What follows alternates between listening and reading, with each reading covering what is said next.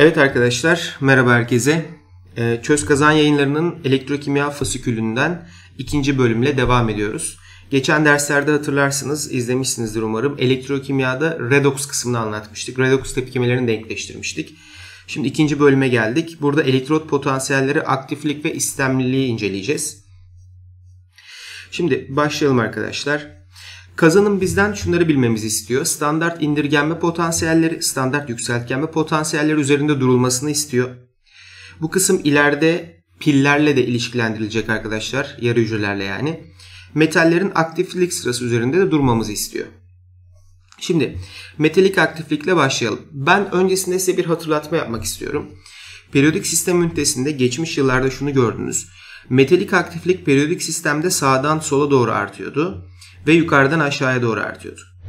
Ametalik aktiflik ise sağdan soldan sağa doğru artıyordu ve aşağıdan yukarıya doğru artıyordu. Metalik aktiflik dediğimizde şunu bilmemiz gerekiyordu. Metallerin tepkimeye girme isteğiydi. Metaller tepkimeye yalnızca elektron vererek girebilir. Metaller elektron almaz. Dolayısıyla sağdan sola ve yukarıdan aşağıya doğru indiğinizde çap artar ve elektron vermek kolaylaşır. Metalin tepkimeye girme isteği artar. Ametaller ise daha çok elektron almak isterler. O yüzden soldan sağa doğru giderken ve aşağıdan yukarıya doğru giderken elektron başına düşen çekim kuvveti artar ve ametalin dışarıdan elektron alma isteği de artar. Ve ametalik aktiflik artmış olur. Şimdi bunları hatırlattık. Peki biz bu ünitede metalik aktifliği ve ametalik aktifliği daha çok ne ile belirleyeceğiz? Daha çok arkadaşlar elektriksel potansiyelle belirleyeceğiz. Potansiyellere bakıp hangi metalin daha aktif, hangi metalin daha pasif olduğuna karar vereceğiz. Başlayalım şimdi. Metalik aktiflik metallerin elektron verme isteğidir. Bunu elektron verme isteği yüksek olan metalin aktifliği daha yüksektir diye de e, aklımızın bir köşesine yazalım. Çok kullanacağız çünkü bu bilgiyi. Ametalik aktiflik ise ametallerin elektron alma isteğinin bir ölçüsüdür. Elektron alma isteği büyük olan ametal daha aktif ametaldir. Şimdi dediğim gibi elektriksel kısma bağlayalım bu aktifliği.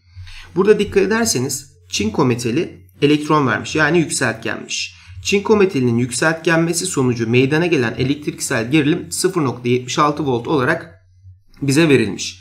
Biz burada şunu anlayacağız. Çinko elektron verdiğinde 0.76 voltluk bir gerilim üretiyor.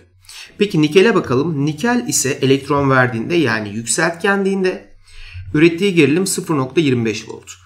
Çinkonun mu ürettiği gerilim daha fazla nikelin? Gördüğünüz gibi çinkonun daha fazla. Demek ki çinkonun metalik aktifliği nikelden daha yüksektir.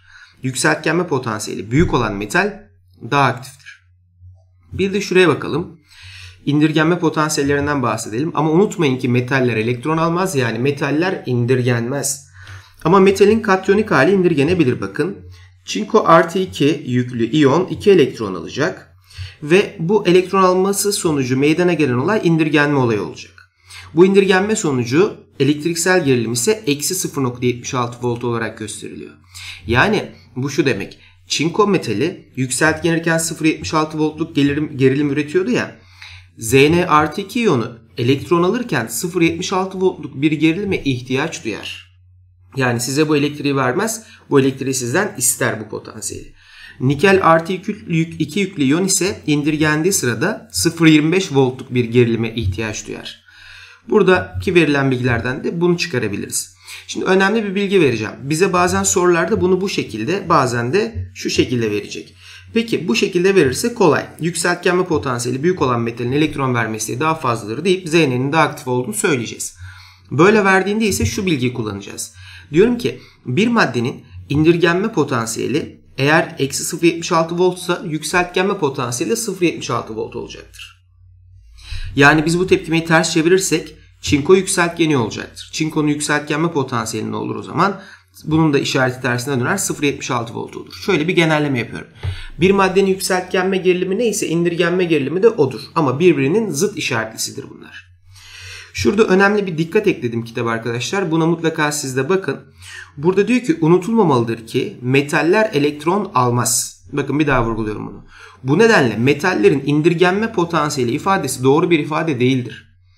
İndirgenme potansiyeli ifadesi metalin katyonu için kullanılabilir, anyonlar için kullanılabilir. Buna dikkat edin. Şimdi örnek olarak çinko metalinin standart yükselt indirgenme potansiyeli eksi 0.76 volt değildir. Çinko 2 artı iyonunun indirgenme potansiyeli eksi 0.76 volttur. Buna dikkat. Yani Zn elektron almaz. O yüzden metalin indirgenme potansiyeli olmaz arkadaşlar. Şimdi burada bir tablo var. Bu tablo bizim soruları çözebilmemiz için ciddi anlamda çok önemli bir tablo. Burada bazı kısımları çok iyi öğrenmeliyiz. Onlardan biri şu bakın. Şimdi tabloda referans değer hidrojen. Hidrojenin yükseltgenme potansiyeli 0.00 volt kabul ediliyor. Az önce verdiğim bilgilerden yola çıkarsak H artının da indirgenme potansiyeli 0.00 volt olacaktır değil mi? Bu çıkarımı yapabiliriz. Hidrojen bizim için referans referans olarak kabul edilmiştir. Keyfi bir kabuldür. Ama hidrojen referans alındıktan sonra diğer maddelerin potansiyelleri belirlenmiştir. Ve biz bugün bunu kullanıyoruz. Peki bu hidrojenin referans olma durumu ne gibi bir sonuca neden oluyor bakın. Yükseltgenme potansiyeli 0.00 volt. Eğer yükseltgenme potansiyeli 0.00 volttan büyük olan bir şeyle karşılaşırsanız yani yükseltgenme potansiyeli pozitif olan bir şeyle karşılaşırsanız bunun aktif metal olduğunu bileceksiniz arkadaşlar. Yani elektron verme isteği hatırı sayılır seviyede yüksek. Eğer yükseltgenme potansiyeli 0.00 volt değerinden küçükse yani negatifse o zaman elinizdeki metal pasif metal olacaktır. Pasif metallerin tepkimeye girme istekleri daha düşüktür. Şimdi pasif metalleri tanımak zorundayız. Pasif metaller kimler bakın. Bakır, civa, gümüş, platin ve altındır. Bu 5 metali bu sırayla bileceğiz. E, ezberlemek için genelde şu yöntemi kullanırlar. Bir kafiyesi vardır bunun. Cumhur, haksızca, ağlayanların patlatır avucuna diye ezberleyebilirsiniz. Şimdi bu pasif metalleri biz temelde ikiye ayırıyoruz. Bunlar kim? Biri yarı soy metaller, diğeri ise tam soy metaller. Yarı soy metallerin bir özelliği var arkadaşlar. Yarı soy metaller bazı asitlerle tepkime verecekler. Tam soy metaller ise genellikle hiçbir asitle tepkime vermezler. Bir istisnamız var. O da kim? Kral suyu. Kral suyu ile tepkime verebilir bu metaller. Kral suyu dediğimiz şey de arkadaşlar hidroklorik asit ile nitrik asit çözeltilerinin karıştırılmasıyla elde edilir. Bununla karşılaşmazsınız ama bilin yine platin ve altın kral suyuyla tepkime verebilir yalnızca. Şimdi pasif metallere tekrar döneceğim. Yukarıya bir çıkalım. Biz yükseltgenme potansiyeli 0.00 volt değerinden büyük olan metaller aktif metaller demiştik. Aktif metaller yani buradaki metaller ezberlemeniz zor bunlar çok fazla. Siz şöyle yapacaksınız. Aşağıdaki 5'ini ezbere bileceğiz. Bunların haricinde karşılaştığımız bütün metaller bizim için aktif metal olarak kabul edilecek. Aktif metallerin şöyle bir özelliği var. Hangi asit olursa olsun arkadaşlar herhangi bir asitle tepkimeye girdiği zaman tuz ve hidrojen gazı çıkarır. Burada önemli olan çıkan gazı bilmektir. Hidrojen gazı. Yani bize bir X metali verip bunu herhangi bir asitle tepkimeye soktuğunda açığa çıkan gazın hidrojen gazı olduğunu söylüyorsa elimdeki metalin aktif metal olduğunu yani yükseltgenme potansiyelinin 0.00 volt değerinden büyük olduğunu anlayacağım. Peki bu asit kuvvetli asit olabilir, zayıf asit olabilir, organik asit olabilir, inorganik asit olabilir hiç fark etmez. Yeter ki asit olsun. Aşağıdaki durumsa şu bakın. Şu üç metal yani bakır, civa ve gümüş yalnızca oksijeni bol ve kuvvetli asitlerle tepkimeye girer. Bizim müfredatımızda bunun iki tane örneği var. Biri sülfürik asit, diğeri ise nitrik asittir. Peki bu metallerden herhangi biri sülfürik asitle tepkimeye girerse tuz, su ve önemli olan bizim için hangi gaz çıktığıydı? Kükürt dioksit gazı oluşur. Eğer nitrik asit bu tepkimeyi gerçekleştirirse bu metallerden herhangi biriyle bu durumda eğer nitrik asit derişikse azot dioksit gazı, eğer nitrik asit seyreltikse azot monoksit gazı ile karşılaşacaksınız. Yani bir X metali eğer bir asitle tepkimeye girdiğinde bu gazlardan birini çıkarıyorsa bu X metali yarı soy metallerden biri olması gerekir. Unutmayın sadece bu iki asitle bu tepkimeleri gözlemlersiniz. Yukarıdaki aktif metallerden herhangi birini alalım. Mesela çinkoyu. Sülfürik asitle tepkimeye sokarsak ne çıkacaktır? Tabii ki yine hidrojen gazı. Çünkü bu metallerin hangi asitle girdiğinin bir önemi yok. Ama aşağıdaki bu üç metal yalnızca bu asitlerle tepkimeye verebilir. Ve bu asit olursa yani sülfürik asit olursa bunun yaygın adı zat yağıdır. Kükürt dioksit çıkar. Bu asitin yaygın adı ise kezzaptır. Bunda da azot dioksit veya azot monoksit çıkar. Sonuç olarak biz şuna ulaştık. Yükseltgenme potansiyeli 0.00 volt değerinden büyük olan metaller aktif metallerdir. Bütün asitlerle H2 gazı çıkarırlar. Yükseltgenme potansiyeli 0.00 volt değerinden küçük olan metaller pasif metallerdir. Bunlardan yarı soy ise elinizdeki metal bu asitlerle tepkime verir. Eğer tam soy ise yalnızca kral soy ile tepkime verebilir. Bir e, önemli bir bilgi tuzağa düşmeyin diye bunu belirttim arkadaşlar. Amfoter metaller yani çinko, krom, alüminyum, kalay, kurşun ve berilyum. Bu metaller dikkat ederseniz pasif metallerden herhangi biri değil. Yani bu elimizdeki amfoter metallerin hiçbiri pasif metaller sınıfında değil. Bunlar hangi sınıftalar arkadaşlar demek ki? Pasif metaller sınıfında yer almıyorsa bir metal aktif metaller sınıfındadır. Aktif metal ise bunlar bütün asitlerle hidrojen gazı çıkarır. Ek olarak bu metaller kuvvetli bazlarla da hidrojen gazı açığa çıkarır. Yani bir X metali hem hidroklorik asitle tepkime girdiğinde hidrojen gazı çıkarıyorsa hem sodyum hidroksitle tepkimeye girdiğinde sodyum hidroksit bazdır hidrojen gazı çıkarıyorsa bu X metali amfoter metaldir. Yani çinko, krom, alüminyum, kalay, kurşun veya berilyumdan herhangi biridir. Şimdi çözümlü uygulamaları siz kitaptan detaylı bir şekilde çözün arkadaşlar. Kitabın şöyle bir hiyerarşisi var. Daha önce anlatmıştım. Öze, önemli bir özelliği var. Çözümlü uygulamalarla uygulamalar birbirlerini tamamlıyorlar. Yani siz çözümlü uygulamayı çözdüğünüzde hemen hemen çok benzeriyle bir e, benzeri olan bir uygulamayla karşılaşıyorsunuz. Çözümlü uygulamayı eğer anladıysanız uygulamayla bunu pekiştiriyorsunuz. Kitapta böyle bir özellik var. O nedenle çözümlü uygulamaların çözümünü mutlaka dikkatlice inceleyin. Sonraki uygulamada kendinizi sınayın. Şimdi ben bunu çözeceğim arkadaşlar. Diyor ki yukarıda bazı metallerin standart yükseltgenme potansiyelleri verilmiştir. Buna göre alüminyum, çinko, gümüş ve potasyum metallerin aktifliklerini büyükten küçüğe doğru sıralayınız. Bana verilen tepkime yükseltgenme tepkimesi mi indirgenme tepkimesi mi? Bir buna bakayım. Elimdeki tepkimelere dikkat ederseniz hepsinde yükseltgenme olmuş. Yani elektron verilmiş. Bu tepkimeler yükseltgenme tepkimesi ise elde edilen potansiyeller de yükseltgenme potansiyelidir. Ee, ünitenin bölümün girişinde söylemiştim. Yükseltgenme potansiyeli büyük olan metalin elektron vermesi daha yüksektir. Yani aktifliği daha fazladır. Yükseltgenme potansiyeli en büyük olan burada potasyumdur dikkat ederseniz. O zaman aktifliği en fazla olan bu.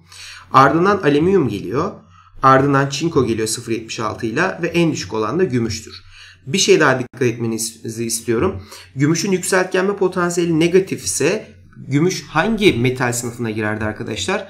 Şurada belirtmiştik. Pasif metal sınıfına girerdi. Çünkü yükseltgenme potansiyeli sıfırdan küçük olan metaller pasif metallerdir. Bu bilgi bu soruda belki işinize yaramıyor ama ilerleyen sorularda göreceksiniz ki bu bilgi soruyu bizi e, soruda bizi çözüme götürecek temel bilgi olacak. Testlerde bununla karşılaşacaksınızdır. Şimdi devam ediyorum burada. Potasyum, alüminyum, çinko ve gümüş sıralaması cevabım E çıktı dikkat edersiniz. Burada da bir çözümlü uygulama var ve ardından bir uygulama geliyor. Yine çözümlü uygulamada dediğim gibi hangi asitin hangi metalle tepkime üzerine bir üzerine bir soru var ve alttaki soruda onun e, pekiştirilmesi için yazılmış bir soru. Biz bunu çözelim şimdi. Yukarıdaki kaplardan hangilerinde içinde bulunan içinde verilen çözelti kapta uzun süre saklanamaz? Şimdi gümüş arkadaşlar pasif metallerden biriydi. Bunu biliyorduk. Az önce de söylemiştik. Sülfürik asit ise dikkat ederseniz pasif metallerle tepkime veren asitlerden biriydi. Şurada hatırlatmak istiyorum. Pasif metallerden cumhur, haksızca ağlayanlar kısmı yani bakır, cıva ve gümüş kısmı ve platin ve altın kısmı var değil mi? Şurası tam soy metallerdi. Burası yarı soy metallerdi. Bunların bir özelliği vardı. Bunlar sülfürik asitle veya nitrik asitle tepkimeye girebiliyordu. Eğer sülfürik asitle yaptıysanız tepkimeyi kükürt dioksit gazı, nitrik asitle yaptıysanız azot dioksit veya azot monoksit gazı çıkıyordu. Peki dönelim soruya. Elimizdeki metal gümüş. Gümüş sülfürik asitle tepkimeye girer mi? Girer. O zaman gümüş metali burada yükseltgenmeye başlar. Metal aşınır bu durumda ve kap delinerek çözelti dökülür. Demek ki gümüş metalin içerisinde sülfürik asiti siz saklayamazsınız. Peki buraya gelelim. Bir sonrakine bakalım. Bir sonrakinde bize ne diyor? Diyor ki platin metalle yapılmış bir kapta magnezyum sülfatı saklayabilir misiniz? Platin bakın burada vermiş bize aktifliğini en düşük olan platin verilen metaller arasında. En büyük olansa magnezyum. Peki çözeltinin içerisine bakalım. Magnezyum sülfata elektron vermiş ve artı 2 yüklü iyon olarak bulunuyor. Yani çözeltide elektron verme görevi magnezyumun üzerinde. Şimdi platin magnezyum varken elektron verebilir mi? Elektron verme isteği platinin çok düşük. Magnezyumdan düşük yani. Dolayısıyla platin ortamda magnezyum varken elektron veremez. Veremeyeceği için bu kap aşınmaz. Yani magnezyum sülfat çözeltisi platin kabın içerisinde saklanabilir. Peki buraya bakalım demir. Demir arkadaşlar bizim e, soy met e, pasif metallerimizden biri değil ki burada da belirtmiş. Demir hidrojenden daha aktif bir metal. O zaman aktif metaller sınıfındadır. Aktif metaller hangi asit olursa olsun tepkimeye girer ve hidrojen gazı çıkarır demiştik. Dolayısıyla buradaki demir buradaki hidroklorik asitle tepkimeye girecektir. Bir de bu durumu şöyle de açıklayabilirim bakın. Şimdi içeride elektron verme görevi kimin üstünde? Hidrojenin üzerinde. Peki şuraya bakın. Demirin mi elektron verme isteği daha fazla hidrojenin mi? Demirin daha fazla. O halde demir hidrojen varken elektron verebilir. Metal elektron verirse yükseltgenir ve aşınır. O yüzden çözeltiye demir artı yüklü iyonlar olarak girecektir. Ya 2 artı ya 3 artı olarak girecektir. Ve aşınmaya başlayacaktır kap. Hidrojen ise verdiği elektronu alıp çözeltiden gaz olarak çıkıp gidecektir. Hatırlayın ne diyorduk? Aktif metaller asitlerle tepkimeye girerse hidrojen gazı çıkar. İşte sebebi de bu. Demir elektron verirken hidrojen verdiği elektronları alıp çözeltiden ayrılıp gidecektir. Dolayısıyla bu kap da demir aşınacağı için kap delinecek ve hidroklorik asiti demir metalin içerisinde demir metalinden yapılmış kabın içerisinde saklanamayacaktır. Cevabımız bu nedenle D seçeneği olur. Şimdi devam edelim arkadaşlar. Bakın burada bir çözümlü uygulama var. Aktiflikle ilgili hemen hemen görebileceğiniz bütün sorular burada var. Çözümleri de var. Şimdi ben bunu pekiştirmemiz gereken uygulamayı e, size çözeceğim. Bu bilgileri pekiştirelim şimdi bu uygulamayla. Burada gene dediğim gibi karşılaşabileceğiniz hemen hemen bütün soru tipleri var. Diyor ki bize yandaki kapta zamanla X katı metali aşınırken kabı meydana getiren Y katı metalinde bir aşınma gözlenmiyor. Buna göre verilen bu ifadelerden hangileri doğrudur? Şimdi buna bakacağız. Şöyle yapalım. İlk bilgiye dikkat edelim. Diyor ki bize X katı metali aşınırken kabı meydana getiren Y katı metalinde herhangi bir aşınma olmayacak. Bakın içeride bir asit var. Asit varken X metali aşınabiliyorsa X aktif metaldir değil mi? İçerideki asit özel bir asit de değil dikkat edin. Sülfürik asit değil yani H2SO4 değil veya HNO3 de değil. O zaman bu metal mutlaka aktif metal olmalıdır değil mi? Eğer bu asitlerden biri olsaydı ve X metali aşınıyor deseydi X yarı soy metallerden biri de olabilirdi. Ama içerideki asit bunlardan biri değil. Hidroklorik asit ve X metali aşınıyorsa X aktif metaldir. O zaman X'in aktif metal olduğunu anladık. Şuraya yazalım. Aktif metal. Yani yükseltgenme potansiyeli sıfırdan büyük. Yani elektron vermesi de hidrojenden daha yüksek. Peki Y katı metali ise aşınmıyormuş. Y katı metali burada aşınmıyorsa bu asitin içerisinde demek ki Y pasif bir metaldir. Şimdi şöyle yapalım. X aktif metal ise X'in elektron verme isteği kimden daha fazla? Hidrojenden daha fazla. Y pasif metal ise hidrojenden daha az. Peki Y kim olabilir bu durumda? Bakın cumhur haksızca ağlayanlardan biri olabilir. Yani bakır, cıva ve gümüşten biri olabilir. Platin veya altında olabilir. Şimdi devam edelim. Y pasif metal mi? Evet. Y pasif metal. Bunun hidrojenden e, yükseltgenme potansiyelinin daha düşük olmasıyla yani elektron verme isteğinin hidrojenden daha düşük olduğuyla anladık. Onu da şuradan anlamıştık. Tepkime veremiyor burada.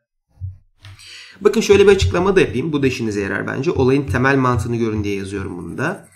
Şimdi bunun içerisinde elektron verme isteği kimin, şey, elektron verme görevi kimin üzerinde? Dikkat ederseniz hidrojen üzerinde bakın. Hidrojen artı 1, klor eksi 1. Y katı metali elektron verme görevini hidrojen yapıyorken eğer aşınamıyorsa demek ki hidrojenden daha iyi elektron veremiyor. Yani hidrojenden daha iyi elektron veremeyenler neydi? Pasif metaller. Çünkü hidrojen bizim referansımızdı. X ise aşınıyor. Yani hidrojen elektron verebiliyorken artık X elektron verebiliyor ise yani hidrojenden daha iyi elektron veriyor anlamı çıkar buradan. O zaman X metali aşınacaktır. X'in aşınma sebebi de budur aslında. O zaman X H artı varken yani hidrojen elektron verme görevini üstlenmişken X ortama girip kendi bu görevi üstleniyorsa X'in elektron verme isteği de hidrojenden daha fazla olacaktır. Şimdi ben dönüyorum buraya. Biz Y'nin pasif metal olduğunu kanıtladık. Bu doğru. X metalin yükseltgenme potansiyeli 0.00 volt değerinden büyüktür. Çünkü X metali aktif metaldir arkadaşlar. Belirttik. Y metalinden yapılan kapta X, C, L, N sulu çözeltisi saklanamaz diyor. Bakalım. Kabı biz Y metalinden yaptık. İçerisinde ne var? X, C, L, N çözeltisi var. Bu n'nin sebebi şu x'in yükseltgenme basamağını bilmiyorum. Yani artı kaç? Artı 1 mi artı 2 mi artı 3 mü onu bilmediğim için buna n artı diyorum. Şimdi içeride Xn artı klorür eksi 1 yüklü olarak geziyor. Elektron verme görevi kimin üstündeymiş burada? Artı yüklü olan elektron vermiştir. Demek ki X'teymiş. Peki soruyorum size. Y'nin elektron verme isteği X'ten fazla mı? Bakalım hayır. Y pasif metal, X aktif metal çünkü. X'in elektron verme isteği Y'den büyük olduğu için Y burada aşınamayacak. Dolayısıyla XClN çözeltisi Y kabından yapılmış, e, Y metalinden yapılmış kapta saklanabilir. Saklanamaz ifadesi yanlış olur. Zamanla kaptan klor gazı çıkışı olur. Hayır, hidrojen gazı çıkışı olur. Zaten şunu daha önceden de belirtmiştik. Aktif metal madem bu, hidrojenden daha aktif olduğunu kanıtladık. E, aktif metaller herhangi bir asitle tepkimeye girerlerse kaptan ne gazı çıkar? Hidrojen gazı çıkar. Bunu biraz daha detaylı görelim isterseniz. Ne demiştik? X burada yükseltgenecek ve ortama elektron verecek. X'in verdiği elektronlar hidrojen alacak ve çözeltiden hidrojen gazı olarak çıkıp gidecek. Klorür ise herhangi bir şey karışmayacak. Neden? Eskiden klorüre elektronları veren hidrojendi artık X olacak. Yani klorür hala eksi bir yüklü iyon halinde kalacak. Elektronunu vermeyeceği için klor gazı haline de dönüşemeyecek. Dolayısıyla zamanla kaptan klor gazı çıkışı değil hidrojen gazı çıkışı olur. Zamanla H artı iyon derişimi azalır. Çözeltideki H artı iyonları elektronu alacaktır. X yükseltgenecek çünkü elektron oluşturacak. Ve ne haline dönecektir? Hidrojen gazı haline. Denk olması için şuraya da 1 bölü 2 yazıyorum. Bakın hidrojen iyon derişimi bu durumda ne olur? Azalır. Şunu da ek bilgi olarak söyleyeyim. Hidrojen derişimi azalırsa asitlik azalır. Yani pH değeri artar. Buna da karşılaşırsınız. Y katı metalinin sülfürik asit ile tepkimesinden kükürt dioksit gazı oluşabilir. Bakalım Y katı metali bunlardan biriydi demiştik değil mi? Eğer Y katı metali şu 3 metalden biri ise yani yarı soylardan biri ise ne diyorduk arkadaşlar? Sülfürik asitle de tepkimeye girebilir, nitrik asitle de tepkimeye girebilir. Sülfürik asitle tepkimeye girerse kükürt dioksit gazı, nitrik asitle tepkimeye girerse azot dioksit veya azot monoksit gazı oluşur demiştik. Demek ki Y metali bunlardan biri ise bununla tepkime verebilir. O yüzden bu doğru olur. Zamanla kapta Y metali katyonları oluşur. Bakın kapta Y metali aşınamıyor. Tepkimeye giremediği için Y katyonları oluşmayacaktır. Normalde Y tepkimeye girebilseydi elektron verip katyon hale gelecekti. Çözeltinin içerisinde Y katyonlarını görecektim. Ama Y burada tepkime veremediği için Y katı metalinin katyonları burada oluşmayacaktır. Bu yanlıştır. X katı metalinin sülfürik asit ile tepkimesinden hidrojen gazı çıkar. Ne demiştik arkadaşlar? X aktif metaldi. Aktif metal olduğu için X hangi asit olursa olsun tepkimeye girdiğinde ne gazı çıkarır? Hidrojen gazı çıkarır. O yüzden X metali sülfürik asitle tepkimeye girse kuvvetli asit, zayıf asit, organik, inorganik hiç fark etmez. Aktif metal olduğu için bütün asitlerle tepkimeye girdiğinde hidrojen gazı oluşacaktır. Doğru bir ifade. Y katı metali nitrik asit ile tepkimeye girmeyebilir. Y pasif metalde hatırlayın. Ama pasif metallerden şu yarı soylardan biri ise yani platin veya altından biri ise Y metali o zaman sadece kral suyla tepkimeye girebilir. Kral suyu neydi? Hidrojen klorürün sulu çözeltisi ve nitrik asitin sulu çözeltisinin karıştırılmasıyla oluşan bir maddeydi. Sadece nitrik asitle Y katı metali tepkimeye girmez eğer platin veya altından biri ise. Evet platin veya altından biri ise Y nitrik asitle tepkimeye girmeyebilir. Doğru. X katı metali nitrik asit ile tepkimeye girmeyebilir. X katı metali aktif metal. Aktif metal bütün asitlerle tepkimeye girer ve hidrojen gazı oluşturur.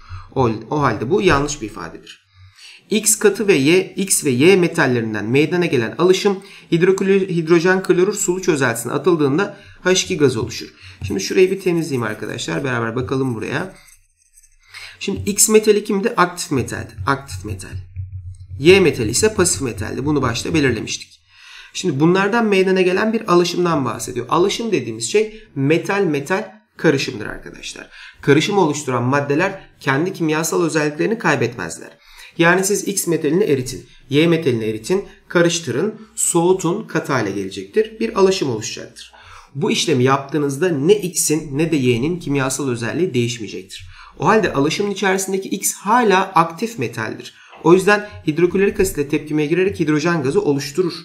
Evet Y de karışımın içinde pasif metaldir. O ise hidrojen klorürle tepkimeye girmez. Ama sonuçta alaşım dediğimiz yapı yani metal metal karışım burada aktif metal barındırdığı için hidrojen klorürle tepkimeye girer. X kısmı girer ama girer ve hidrojen gazı oluşur. Doğrudur. Çözeltideki su buharlaştırıldığında XClN katı tuzu oluşur. Bakın buradaki su buharlaştırılırsa ne olacak? Şöyle şunu temizleyip bir kere daha bakalım. Olay şöyleydi değil mi? X elektron verecekti. Artı yüklü hale gelecekti. H artı elektronunu alıp çözeltiden H gazı olarak çıkacaktı. Ve artık çözeltide ne var? Bakın şunu belirteyim. X N artı iyonlarıyla klorür eksi iyonları var. Peki metalin katyonu ve bir anyon bir araya gelince tuz oluşur. Burada aslında bir tuzun iyon halleri var. Su buharlaşırsa bu iyonlar birbirine bağlanacak ve dibe çökecektir. Suyu buharlaştırdığınızda dipte XCl N tuz oluşacaktır. Nasıl ki bir suyun içerisine tuz attınız, çözdünüz, suyu buharlaştırdığınızda tuz katı olarak kalır. Burada da o durum olacaktır. X N artılar ve Cl eksiler su buharlaştıkça birleşecek ve dipte katı olarak oluşacaktır. Dolayısıyla çözeltideki su buharlaştırıldığında XClN katı tuzu oluşacaktır. Doğru ifadedir. X katı metali yükseltgenir. Evet zaten onu söyledik defalarca. X aşınıyor. Bir metal aşınıyorsa elektron veriyor demektir. Elektron vermek yükseltgenmektir. Y katı metali indirgen özellik gösterir. Yani Y katı metali yükseltgenir demek istiyor. Ama Y katı metali ne yükseltgende ne indirgende tepkimeye dahi dahil olamadı. Dolayısıyla indirgen özellik de göstermez, yükseltgen özellik de göstermez.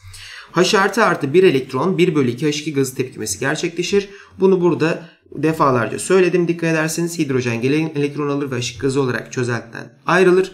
O tepkimede H artı vardı çözeltide elektron aldı ve element haline dönüp çözeltiden çıktı. Bu şekilde tepkime denklemi yazılır.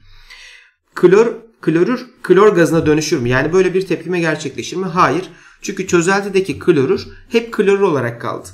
X elektron verdi, hidrojen elektron aldı. Klorür bir değişime uğramadı. Böyle bir tepkime olmaz. Sistemde redoks tepkimesi gerçekleşmiş olur. Şunu belirtelim. X katı metali girdi. H artı iyonları vardı.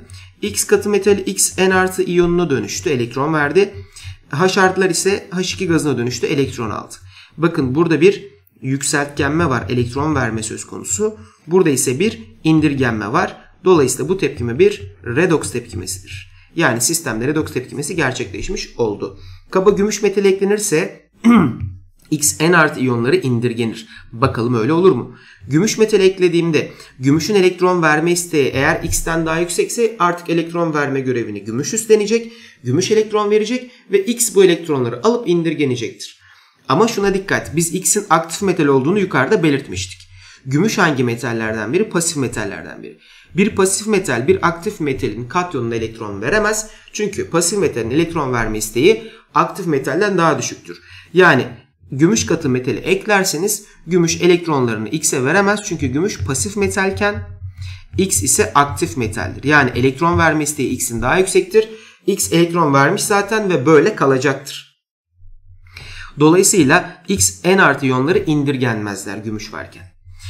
Kaba magnezyum metali eklenirse Y katı metali yükseltgenebilir. Bakalım magnezyum hangi metal türlerinden biri? Aktif metallerden. Yani bunlardan biri değil magnezyum. O halde aktif metal.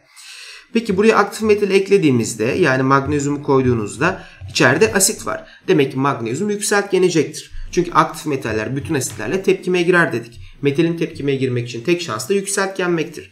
Peki metal yükseltgenecek magnezyumlar ve magnezyum 2 artı iyonları oluşacak. Şimdi Y katı metali magnezyum 2 artılara elektron verebilir mi? E, magnezyum aktif metal, Y ise pasif metal. Pasif metal aktif metalin katyonuna elektron veremez. Çünkü pasif metalin elektron verme magnezyumdan daha düşüktür. Çözeltide Mg2 artı iyonları oluşur ve böyle kalır. Y bunlara elektron veremez. Bu nedenle bu yanlıştır. Arkadaşlar ikinci bölümü ilk dersini yaptık. Bir dahaki ders bu bölümü bitireceğim. Ee, ilk bölümün Redox'u bitirdik arkadaşlar. Biliyorsunuz onun testlerini mutlaka çözün. Yapamadıklarınızı uygulamalardan izleyin. Aktiflik bölümüyle ilgili de şu çözümlü uygulamaları detaylıca inceledikten sonra mutlaka kitaptan bu uygulamaları siz de çözün.